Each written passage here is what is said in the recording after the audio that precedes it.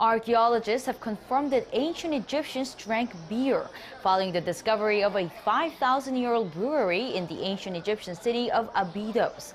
Being possibly the world's oldest beer factory, it's predicted to have had the capacity to produce some 22,000 liters of beer.